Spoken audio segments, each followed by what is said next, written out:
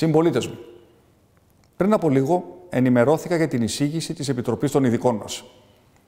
Θέλησα προσωπικά να σας ανακοινώσω την απόφαση για τα νέα μέτρα και να εξηγήσω τους λόγους που μας οδήγησαν σε αυτά.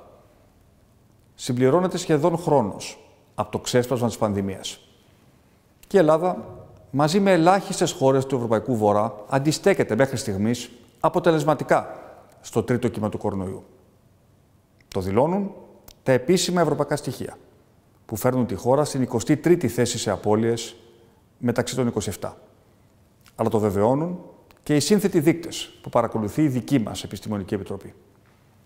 Γνωρίζουμε όμως ότι οι επιθέσεις του κορονοϊού μπορεί να εκδηλωθούν ευνηδιαστικά και με ρυθμούς εκθετικούς, σαν τη φωτιά που απλώνεται γρήγορα και καταστροφικά. Δείτε τι έγινε στην Πορτογαλία. Και αυτό άλλωστε και απέναντι σε ένα φαινόμενο δυναμικό, επιλέξαμε την τακτική επισκόπηση και την ευέλικτη προσαρμογή των μέτρων ανάλογα με την πραγματική κατάσταση. Επιλέγοντας στοχευμένα μέτρα με γρήγορα τα ανακλαστικά.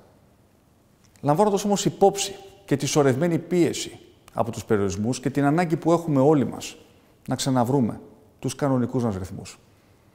Και τελικά ήταν μεγάλη ανάσα για την αγορά και την κοινωνία να μείνει δύο εβδομάδες ανοιχτή και δύο κλειστή από το να είναι τέσσερις εβδομάδες αποκλεισμένοι. Στόχος είναι να βρισκόμαστε πάντα ένα βήμα μπροστά από τον ιό. Και η τακτική αυτή έφερε αποτέλεσμα στο τελευταίο απογορευτικό του Ιανουαρίου. Σήμερα όμως ο κίνδυνος επανεμφανίζεται. Όχι με τη μορφή των χιλιάδων αρρώστων και των θανάτων, όπως σε άλλες ευρωπαϊκές χώρες, αλλά με δύο δεδομένα που μας ανισχούν ιδιαίτερα. Αφενός, την αύξηση των νοσηλιών στην Αττική, όπου σταδιακά γεμίζουν οι δομές υγείας. Και αφετέρου, τις μεταλλάξεις του ιού, που φαίνεται να επιταχύνουν τη μεταδοτικότητά του. Θα μπορούσαμε να περιμένουμε ακόμα κάποιες μέρες, αλλά το καμπανάκι είναι ηχηρό και έχουμε μάθει να λειτουργούμε ώστε να προλαμβάνουμε και να μην ακολουθούμε το πρόβλημα για να σώζουμε ζωές. Γιατί η προϋπόθεση για την πρόοδο της Ελλάδος είναι οι υγιείς Έλληνες. Όλοι εμείς που πρέπει τώρα να αμυνθούμε στην ίστατη επίθεση του ιού πριν από την οριστική νίκη του εμβολιασμού. Γιατί είναι σίγουρο ότι αύριο θα κερδίσουμε το χαμένο έδαφος αν σήμερα υπερβούμε τα τελευταία εμπόδια χωρίς απώλειες. Γνωρίζουμε ότι από τον Απρίλιο θα είμαστε πολύ καλύτερα. Όμως τώρα πρέπει να προλάβουμε τον κίνδυνο. Με βάση τα νέα δεδομένα, λοιπόν, αναλαμβάνω την ευθύνη των πρόσθετων μέτρων για την προστασία της δημόσιας υγείας. Έτσι, από μεθαύριο Πέμπτη και ως τις 28 Φεβρουαρίου θα υπάρξουν αυξημένα περιοριστικά μέτρα στην Αττική. Αυτό σημαίνει ότι κλείνει κάθε μορφή λιανεμπορίου και στο εξής όλες οι βαθμίδες εκπαίδευσης θα λειτουργούν εξ αποστάσεως, εκτός από την ειδική αγωγή, που θα συνεχιστεί με φυσική παρουσία. Τα νέα μέτρα θα εξοικευτούν περαιτέρω αύριο από τους αρμόδιους. Συμπολίτες μου, η εμπειρία από το πρώτο κύμα της πανδημίας, όπως και από το lockdown μετά τις γιορτές των Χριστουγέννων, δείχνει ότι όσο πιο γρήγορα εφαρμόζονται περιορισμοί, τόσο πιο γρήγορα έρονται. Και πως όσο δραστικότεροι είναι αυτοί, τόσο μεγαλύτερο είναι και το αποτέλεσμά τους.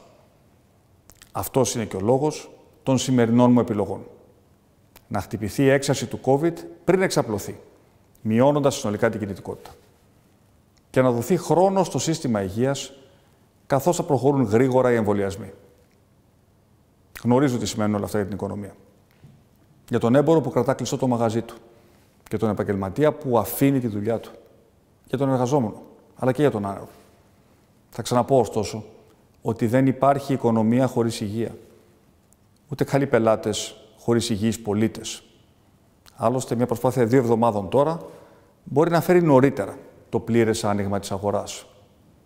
Και όσο διαρκεί η κρίση, η πολιτεία θα συνεχίσει να στηρίζει τα νοικοκυριά και τις επιχειρήσεις. Όπως ήδη το δρομολογεί. Με το μηδενισμό του ενοικίου επιχειρήσεων που θα παραμένουν κλειστές και το Μάρτιο, αλλά και την παράταση του μειωμένου ΦΠΑ σε συγκεκριμένα αγαθά. Με την έκτη και την έβδομη επιστευτέα προκαταβολή και τη χρηματοδοτούμενη αναστολή εργασίας. Αλλά και με την παράταση των επιδομάτων ανεργίας και την αναστολή οφειλών προς δημόσια και ταμεία. Γνωρίζω καλά όμως και την αγωνία της κοινωνίας.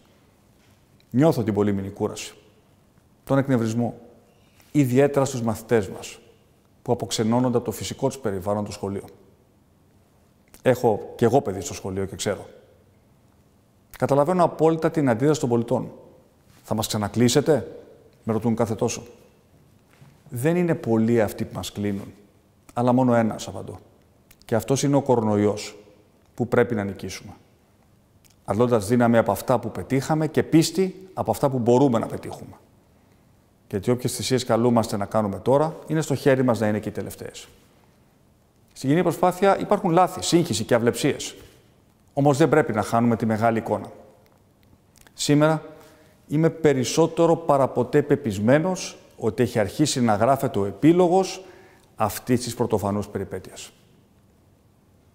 Συμπολίτες μου, σας καλώ και πάλι να μείνουμε ενωμένοι και να απαντήσουμε με οριμότητα σε αυτό που μας ζητά η ίδια η ζωή. Να προστατευτούμε εμείς και οι αγαπημένοι μας. Πολύ περισσότερο που ο ήλιος του εμβολίου φωτίζει πια την επόμενη μέρα.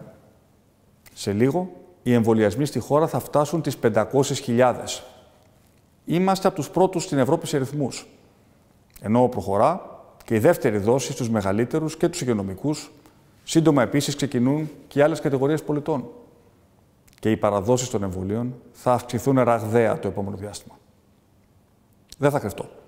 Στο δίμηνο που ακολουθεί, η βεντάλια των περιορισμών ενδεχομένως θα ανοίγει και θα κλείνει ανάλογα με τα επίπεδα του συναγερμού. Από εμάς εξαρτάται τι θα συμβαίνει κάθε φορά. Όμως είναι και το τελευταίο μίλι προς την ελευθερία. Η πολιτεία έχει το σχέδιο ώστε μέχρι τα τέλη της Άνοιξης οι πιο ευάλωτοι Έλληνες να έχουν θωρακιστεί Στόχος είναι να συναντηθούμε με εκείνη τη στιγμή ακμαίοι και δυνατοί. Και ένα μεγάλο βήμα σε αυτή τη διαδρομή της ελπίδας είναι να πετύχουν τα μέτρα που θα ισχύουν από μεθαύριο. Θα τα τηρήσουμε και θα νικήσουμε.